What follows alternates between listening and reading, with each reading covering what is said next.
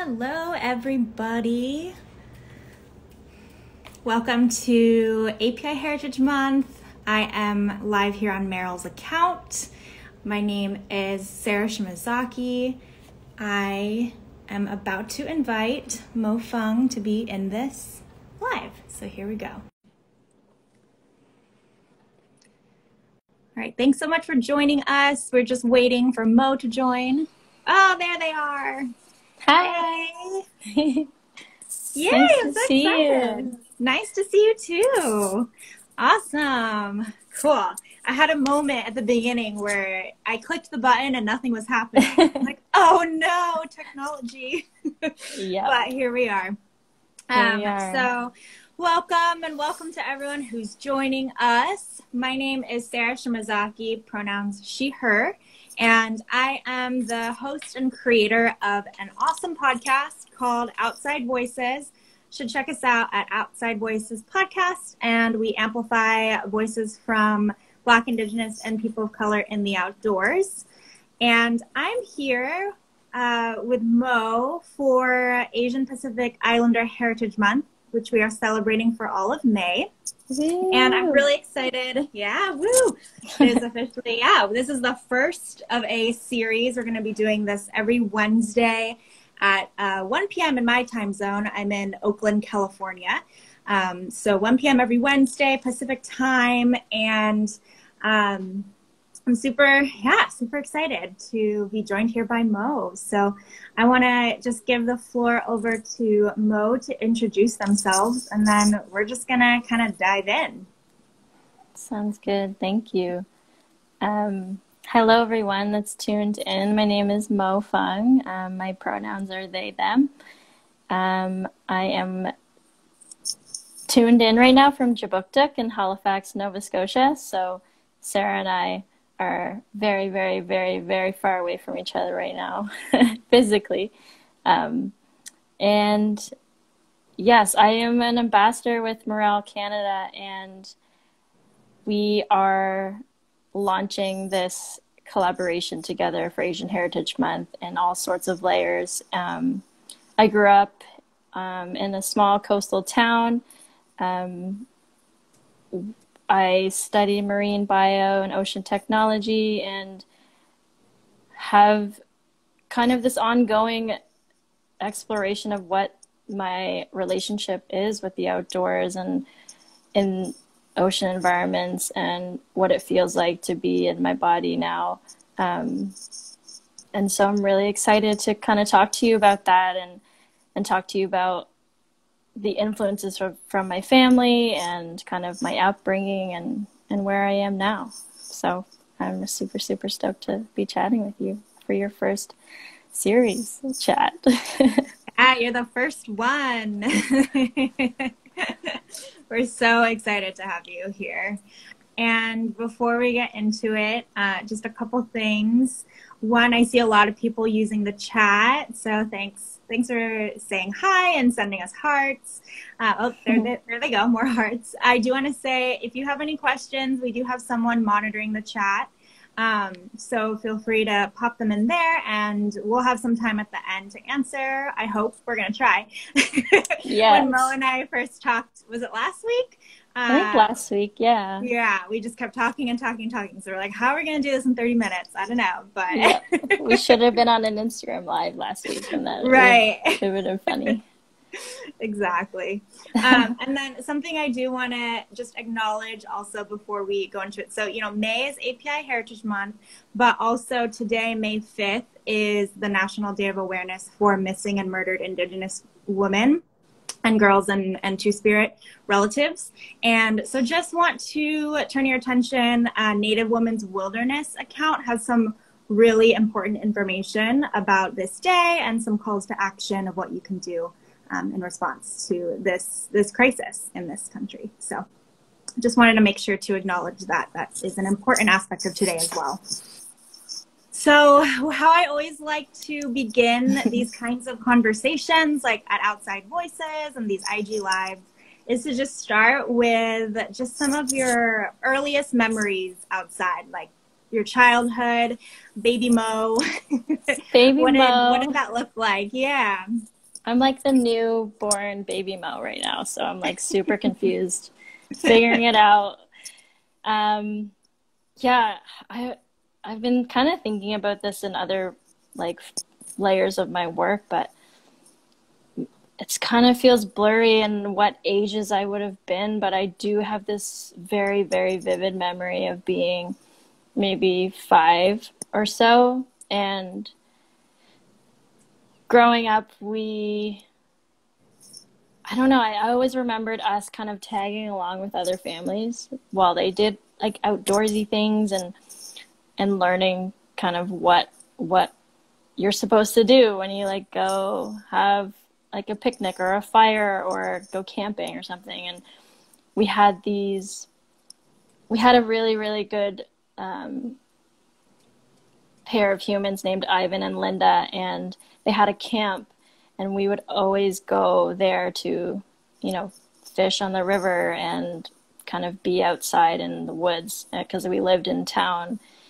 and i can almost even like I, feel it like standing on the back of a truck while my dad was driving really slow down a dirt road to get to this camp. So it was like, I don't know, a couple kilometers on a bumpy road. And I remember being, yeah, so small, sticking my arms out to try to feel the leaves and like grab leaves. And my brother was standing next to me.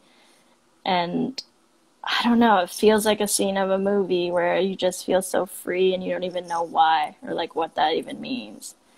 And I do remember being scared of, you know, lakes. I still do have kind of fear of lakes because they're dark and I don't I can't see through them like the ocean. And um specific memories being yeah by lakes and oceans and learning how to fish and yeah, and I think everything's just kind of, I learned a lot by people around me. Mm. Yeah, I still do. So, yeah. Yeah. Thanks for painting that picture and just the feelings too. Just feeling really free, but also at the same time, there's a little bit of fear of the unknown. And it's it's actually really interesting when you said that you still fear lakes because I know that when we talked last week, you mentioned your relationship to water and um, how you really felt an affinity specifically to water as an element, as a, um, a place in nature. Yeah. It sounds like you're specifically talking about the ocean. And I also see behind you, you have a, a water sacred poster as well. Um, yeah. So let's talk about water. Yeah. Let's talk about water. I like talking about water. um, I mean, I do want to acknowledge the privilege that I have to be able to access it and the ways that I do. Um, I live in a small city right now that is a coastal city, and yeah, this is so deep into what I'm exploring in my work and my art practice right now about this thing that I mentioned to you last week, where I was like, my identity as a settler on land, and when I'm in the water, thinking about how I'm a settler in the water too, and and how different it is those two realms for me. Um, and i mostly have been connecting with water in, in kind of like a therapeutic way where snorkeling and being underwater and and just like floating. I love floating on the water with my eyes closed or swimming down to the bottom and turning my body to look up to the surface when it's mm. so quiet and that's probably one of my favorite favorite sensations. I don't even know how to describe it but i feel complicated feelings now that i'm you know having more time to reflect on what the ocean means to me. Because yes it's really good in the ways that it's therapeutic that's beautiful it's serene it brings peace it's like healing. But also when i think about it in the context of my family the ocean was, you know, a passageway that was violent and almost fatal and stormy and the only option, you know. And so mm-hmm. I'm feeling these things come up in my in my creative work where I'm thinking about that and how trying to see if if and how much I'm carrying in my body of, in that way and how it translates to how I feel in the water now. Um, like most of my, not most, but there's a handful of my family members that don't know how to swim. And they were, I know over the years, they're always like, wow, like you're so brave for diving and snorkeling and like being in the water. And like, I wish that I could be like, do that with you. And I think I always felt that my family wasn't like adventurous or really wanted to be outdoors in that way. But I remember my mom telling me maybe like a year or two ago, and it was really surprising to me. And she said, like, I'm really proud of you for, you know, being adventurous and going for hikes and camping and doing all these things. Like, I really wish that I had the opportunity to do that, but, you know, it wasn't the same. Like, you didn't have like the luxury of having extracurriculars or things outside of your house and your school and and so I've been thinking about that a lot. So, yeah. Yeah.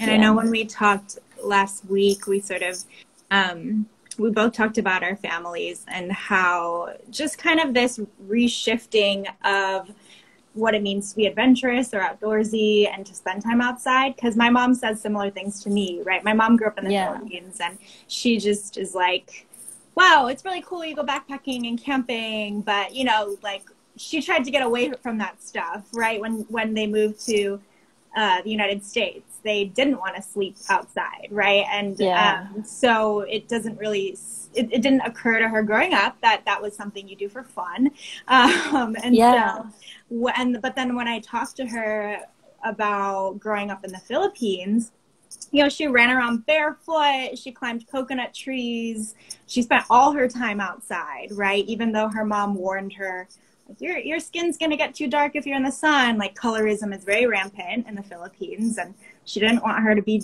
have dark skin, so she said, "Don't yeah. spend out time outside." But she was just out there, and I think that's that's really outdoorsy. And i'm sure that your parents probably even though they might not think that they're doing like camping or other activities they probably spent a lot of their childhood outside too.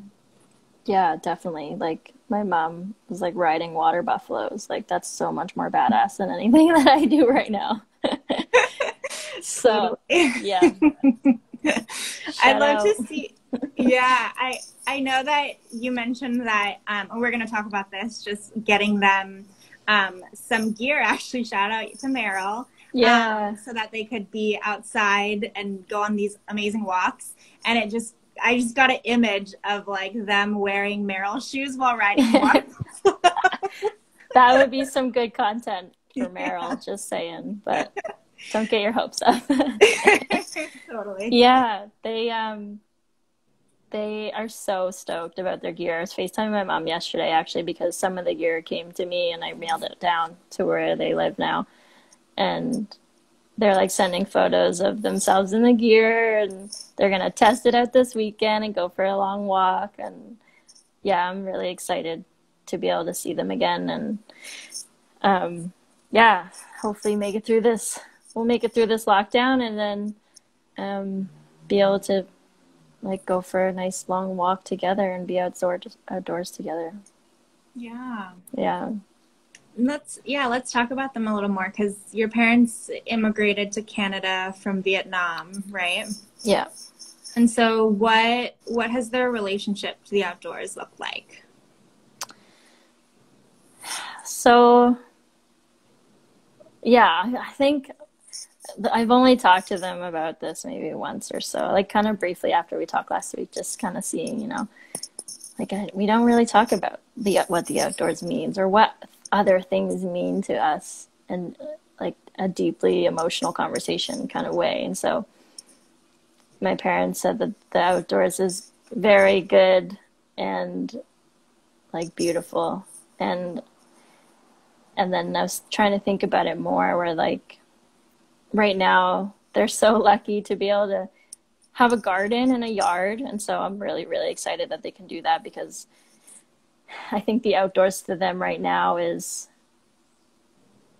growing food like sustenance mm-hmm. and enjoying that it doesn't feel like it, you have to do it like maybe they had to do it in Vietnam. Like my dad grew up on shrimp fishing, shrimp farms, and it like growing food in a garden was work. And I know that it is still in a lot of ways, but it's more of kind of a leisure thing that they can enjoy. And um, when I still lived at home, they um, they didn't work on Sundays, and so every Sunday morning um, we'd go for a long walk on the trail, and they still do that together, even though that my siblings and I haven't lived home in over a decade or more, and so I think it means you know having some time to breathe and not think about work and not think about how you know you're going to pay the bills or how everyone around you is doing and just kind of like enjoying where you are in the moment and you know just moving your body and, in, in a small way that you can. Yeah. Yeah definitely. And i know you mentioned that they one another thing they do that connects into the outdoors they go on walks right? Yeah every sunday morning is their walk day so. Yeah. And how are they they're um they're excited right with like the new their new shoes and all that to yeah to so they're test they're gonna test them out this weekend i um I, I was like take some pictures while you're on your walk and i hope it is rainy i think it's looking a little rainy here this weekend and and both of the shoes that they got are waterproof because i was like we need waterproof shoes if we're gonna live in nova scotia because it can rain and snow and be sunny in one day. So, um, yeah, I'm so excited that they can have something nice like that. Um, because, you know, I, I felt, I was talking to my sister about this yesterday and, um, I'm really happy to be able to collaborate with Merrell and give gift them these items because if I were to buy them as gifts for them, it would be so it would cost a lot of money, you know, like it's really nice it's a nice thing to give them that they'll use that they feel like is really new and special and it's from something that I'm doing and work that I love. And I think like having that meaningfulness behind it and they're so excited. Like I this we don't we haven't done this before together and I'm excited to keep growing on this journey with Merrell and um yeah, I'm excited to just see the sneakers. I want to go for a walk with them so bad. Yeah. They're kind of far from you, right? Like a couple. It's not too drive? bad. Yeah, it's like a three-hour drive, but we are not can't travel between our counties right now. So, yeah. And is I that something? See... Oh, go ahead. No, sorry. Go ahead. no, I was just gonna say I can see some cute messages from some of my friends in the chat, and I was just no- noticing them. Yeah, I know. Yeah. Love that. And all the hearts that pop up too. Thanks. Yeah. Thanks for all the love, everybody, and for tuning in. yeah. Um, I was going to say, is that something that they, those walks every Sunday, is that something they also did in their home country in Vietnam? Do you know? I don't know that. I don't know. I think, like, I know my dad would walk or bike everywhere. Um,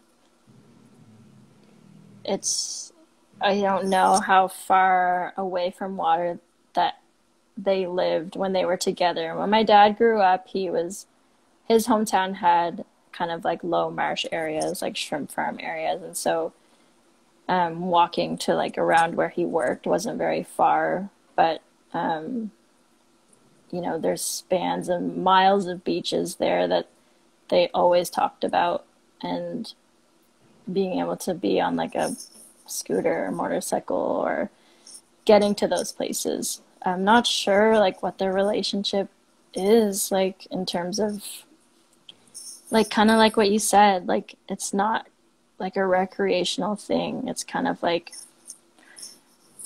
survival. Survival. living.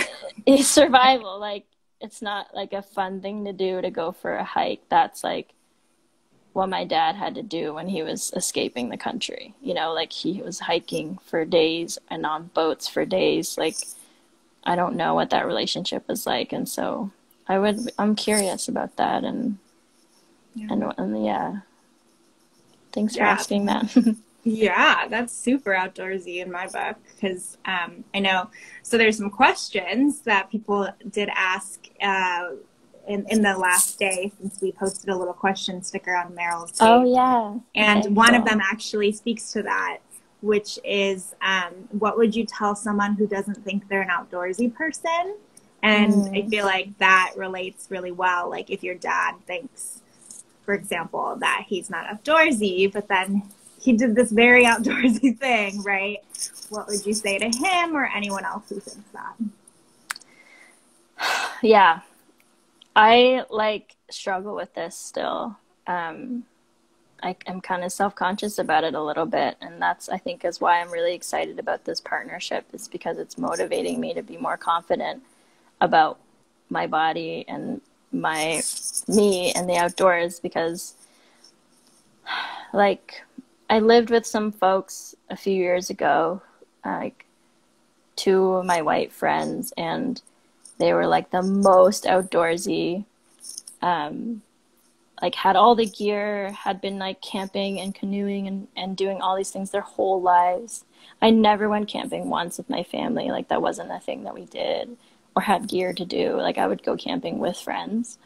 Um, and I remember just feeling like I didn't talk about it, but I was just always trying to be like trying to live up to their standard of what outdoorsy was, you know, outdoorsy mm-hmm. was.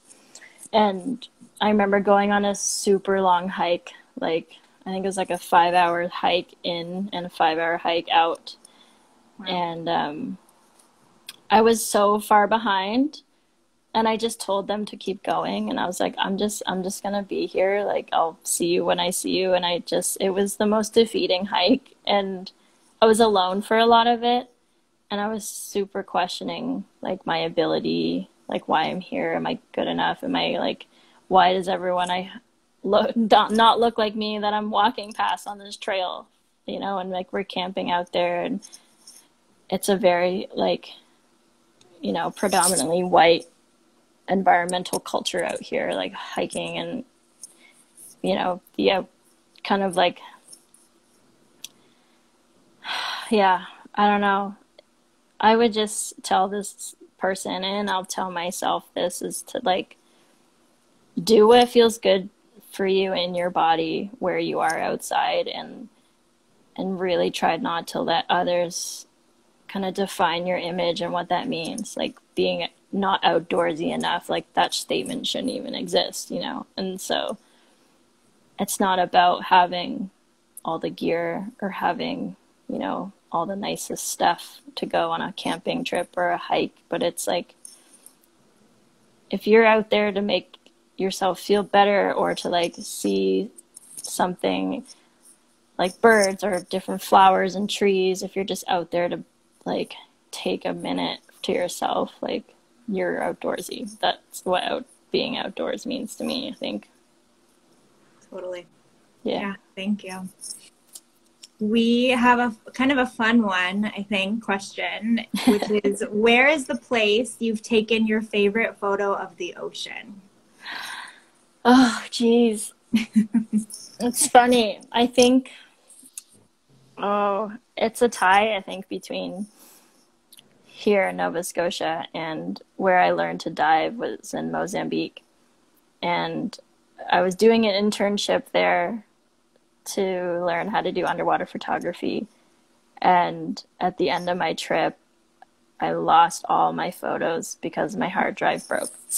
And so honestly, there's probably amazing photos that I took there and I don't know. I don't know, but um, I think in Nova Scotia, I love taking pictures of seaweed. Um, mm. And the like, I have like an underwater film camera and a digital housing for a digital camera. And so seeing what water looks like in a digital camera versus a film camera is really, really cool. So I'm excited for the weather to get a little warmer and then I want to get in the water and, and play around. Yeah. yeah. I love the the selfies that you took in the. Ocean. Oh yeah, I like those too. Yeah, snorkeling and like just playing around in the water like that is so fun. Yeah, yeah absolutely. Uh, I think we probably have time for maybe one or two more. So we have a question that came in through the chat, which is how has increased awareness of anti-Asian racism impacted your climate justice work? So, in well, regards to there's a demand, an opportunity, and support. Yeah, I mean, my climate justice and equity work hasn't included anti Asian racism in it until right now, like within the last, you know, month or so. And so it's just, it's just new. It's going to be an integration that I'm committed to and conversations that I want to have with my team and with my peers and um, I'm really really grateful and I'm deeply saddened by all of the things that are going on. But you know the, the thing of how something bad has to happen for people to learn about it, know about it, to do something about it. And I think that's kind of where I'm at right now. Like, I don't know everything there is to know about anti Asian racism or hate, but I'm going to like pour myself into that. And I think I, I am right now. And I'm like really tired and, but I, this is the work that I want to do. Um, and I want to like still like stay in it and just and this whole month I think is going to be like super super life changing in my work and I'm really really excited about it. Yeah. Absolutely. Yeah. Thank you so much. Thank you for the work that you do, for the space that you're taking up, for your voice. And I'm just really happy to have this conversation with you. Yeah, we are, too. Yeah, we are pretty much almost at time. Um, but be sure to follow Mo if you uh, don't or- already have their Instagram handle, which I believe is at Mo Phung, right? At Mo Phung, yeah. Okay, yeah. Be sure to follow Mo. yes, hashtag Stop Asian Hate can't see. Can you see? I can see it, but it's backwards for me a little bit. Oh. I don't know if that's the case for anyone else, but but I can still I tell tried. what it said. It's okay. yeah. Well, thank you so much. Thank you everyone for joining. This was this was really great. It was too short. I I really I know, think how, that it's been a half an hour already. I also follow uh, Future Ancestors